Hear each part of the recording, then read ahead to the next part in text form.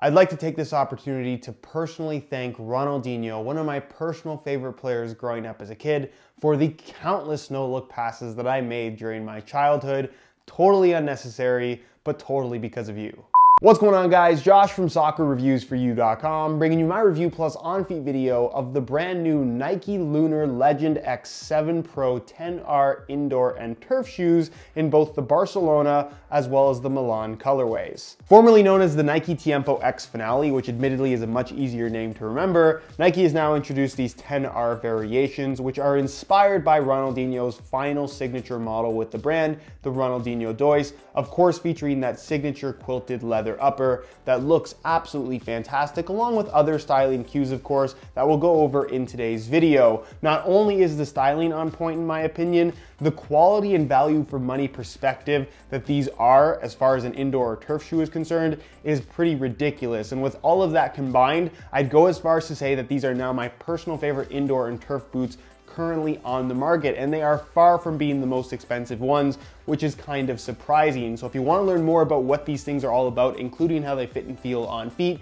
please stick around, watch the entire video. And if you're interested in a pair of these for yourself, I'll leave a little pop-up on screen, or you can click the first link down below. That'll take you to the review page on my website, where you'll find buy it now links with exclusive SR4U coupon codes, where you'll be able to pick these up below their normal $105 retail price in either the white or the red in both the indoor and turf variations. If you guys do end up enjoying the video, don't forget to support it with a like. And if you're new here watching for the first time and enjoying what you see, don't forget to hit that subscribe button along with the little bell notification for daily videos on all the latest and greatest soccer gear. For those wondering about extras, nothing comes included with the shoes aside from the box. But if you buy two pairs, you'll get two boxes. Let's start with the white pair that represents Ronaldinho's time well at Barcelona. Now, I think these are really cool for three different reasons. One, because white and gold always looks really good. Two, because white and gold was kind of a signature color combo for Ronaldinho throughout his entire career, no matter which boots he was wearing. And then three, this is more or less a direct remake of an actual colorway that we got of the Ronaldinho Dois signature model, which this is of course inspired by. So this shoe, as you can see, is pretty much all white white leather, white stitching, white embroidery. The back part, which has a mesh base with a fuse on top that's solid white in color, that's white. White liner, white laces, and then of course the midsole and outsole solid white as well. And you even have a very light color for the suede wrapping around the toe box, forefoot, and midfoot area, bordering the upper and the midsole. So if you're wondering how hard are these gonna be to keep clean, very, very hard. I would suggest if you wanna keep them as white as possible, buy the shoes and never take them out of the box. That's pretty much the only way these things are gonna stay clean because if you wear them,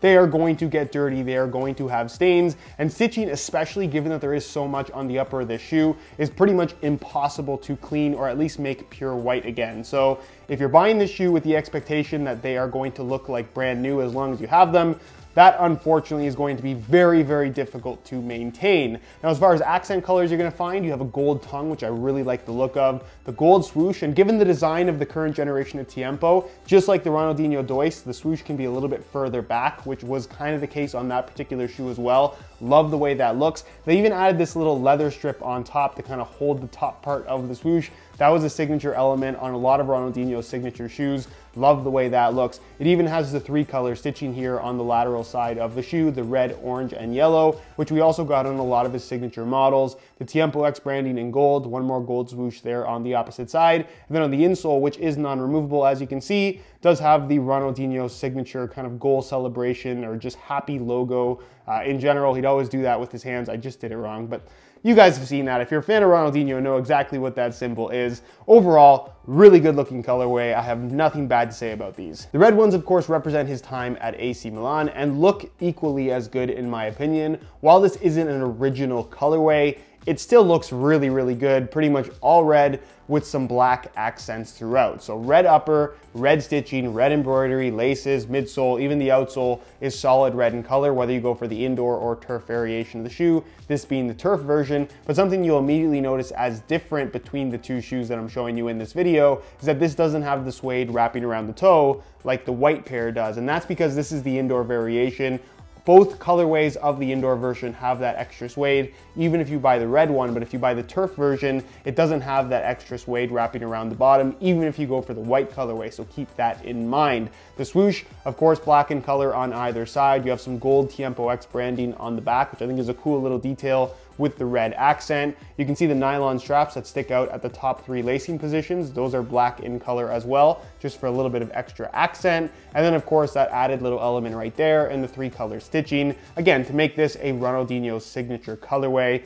Love the way these look. If I had to pick a favorite between the two, I definitely lean more towards the white ones just because I'm such a big fan of white and gold boots. But let me know which ones you guys think are better down below in the comments. Even better yet, I'll leave a little pop-up poll on the corner of the screen and you can vote. Do you like the red ones or do you like the white ones more? Curious to hear what your opinions are. Before we move on, there's also a few other details inside the shoe, like this saying in Portuguese under the tongue. Not sure exactly what it says, but if you want to translate, feel free to down below in the comments. And then inside the boots, basically where the heel liner ends, you're gonna find this little strip of yellow and green material that features a number 10 print, which was a signature print, again, on Ronaldinho's signature models. This has nothing to do with performance, has nothing to do with comfort, it's just there as an added signature element, which again, I think is a really cool little detail that Nike absolutely did not need to add, but they did because they wanted to do these right. As far as performance and quality is concerned, these are really good considering the $105 retail price. Now, it must be noted that a regular variation of the Tiempo X Finale, the non-10R version, does retail for $95, so it's $10 less expensive, but I honestly feel, as good as that regular version is, that these are worth the extra $10 based on the quality improvements, especially in regards to the leather. These feature a calfskin leather upper that to me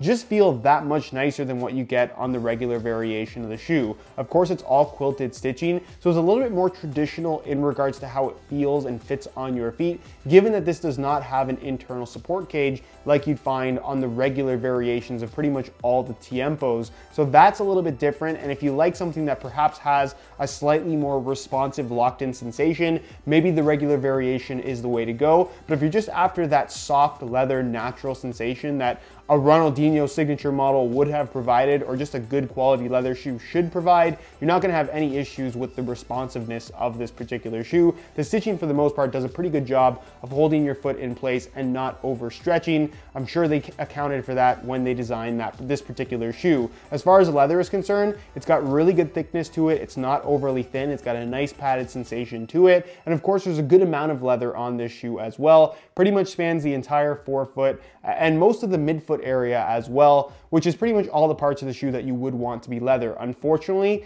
the tongue is not made of leather. And something that's kind of interesting is that the tongue seems to be a little bit of a different material on the red pair versus the uh, uh, white pair, where the red pair is actually a little bit nicer. It's a slightly softer synthetic type material, but either way, it's not really a big deal. Both, of course, feature a central lacing system that would be a little bit different than what we found on that original Ronaldinho Dois, but again, they kind of just blended the design of the new Tiempo and the old Ronaldinhos into one shoe here. And something that does carry over from the regular Tiempos is of course the nylon straps that you have at the top three lacing positions on both the lateral and medial side basically a flywire cable that's not a thin flywire cable. It runs through the lining material into the base of the sole, connecting directly to that lacing system. So when you tie the laces tight, it really does a good job of locking the midfoot and your heel in place, making for an overall more responsive locked in sensation. The rear of the shoe, unlike of course the top end Tiempo Legend, which they do not make of this Ronaldinho signature model, it's not Flyknit, instead it's just a mesh base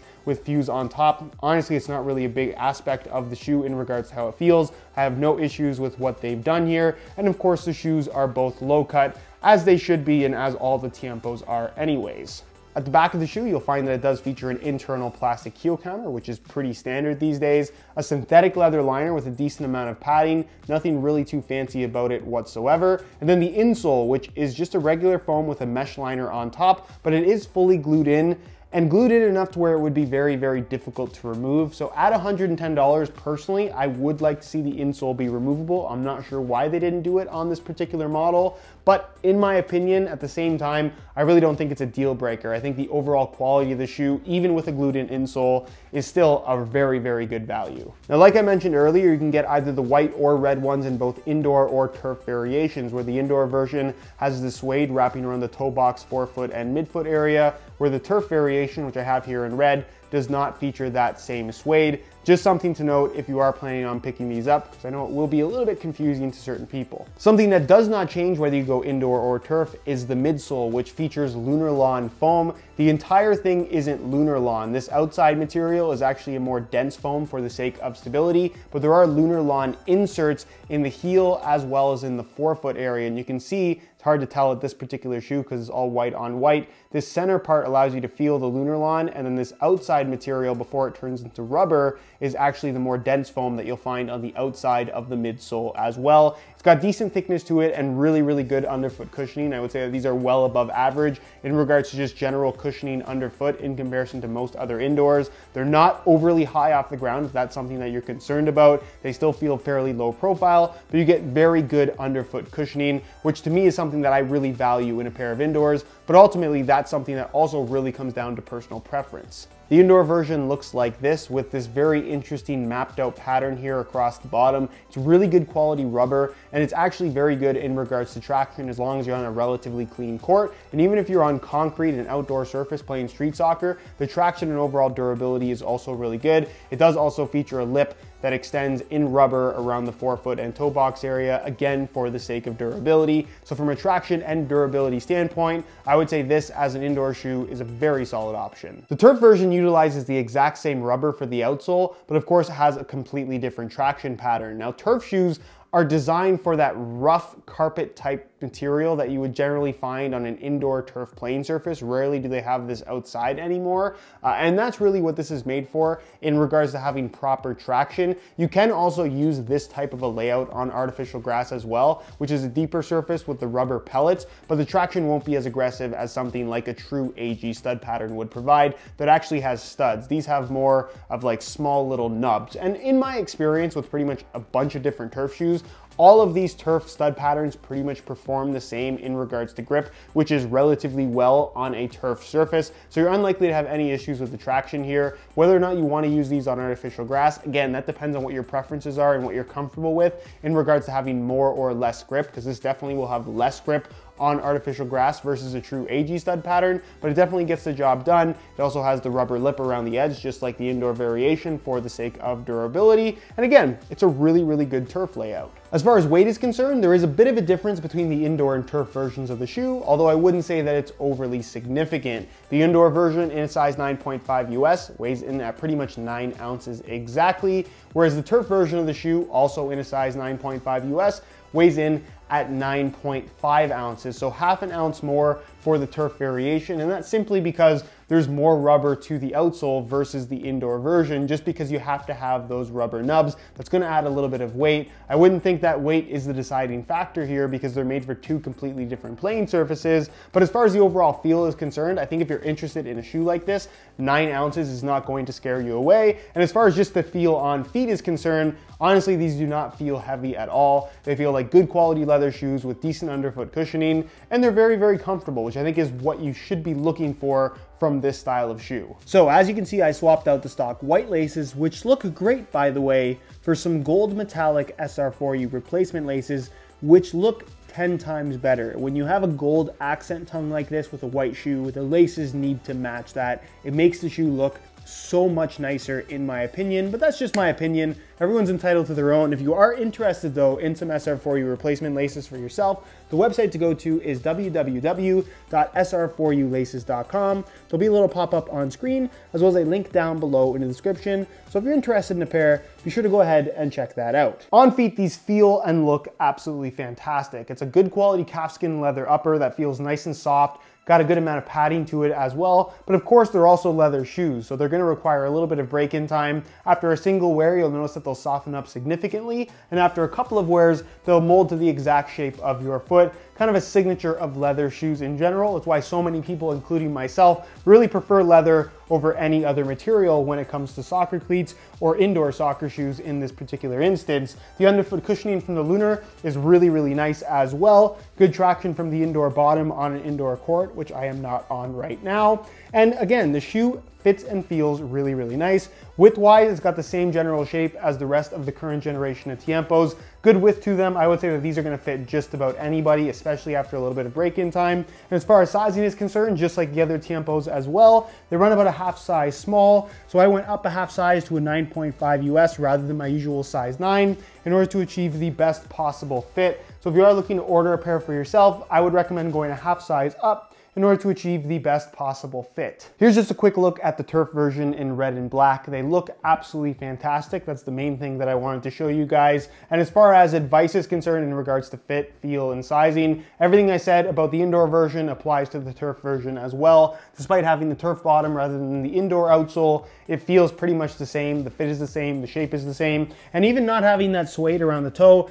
does not change the overall fit or feel of the shoe whatsoever. So whether you're going turf or indoor, all the same advice applies. In conclusion, I don't really have too much negative to say about these things. I think for the $105 price point, given the quality, the amount of leather, the comfort, the Lunarlon cushioning setup, a solid indoor or turf setup, depending on what you need, and, a shoe that looks as good as these do, I don't think that $105 is unreasonable at all. And for all of those reasons, this is now my personal favorite indoor and turf shoes. These will be my go-tos when I'm not testing anything out. And I think if you're just on the market for good quality leather indoor or turf shoes, this should be near the top of your list of shoes to consider. Anyways, guys, that is it for my review. Hopefully you enjoyed. If you did, be sure to support it with a like. Again, if you're interested in a pair of these for yourself, you can click the first link down below. That'll take you to the review page on my website where you'll find buy it now links with exclusive SR4U coupon codes. You'll be able to pick these up below their normal $105 retail price. If you have any questions, as always, leave them down below in the comments and I'll do my best to get an answer out to you as soon as I possibly can. Subscribe if you haven't already for daily videos on all the latest and greatest soccer gear. You can find all my social media information linked down below in the description as well. And other than that, guys, hope you enjoyed the video. As always, thanks for watching.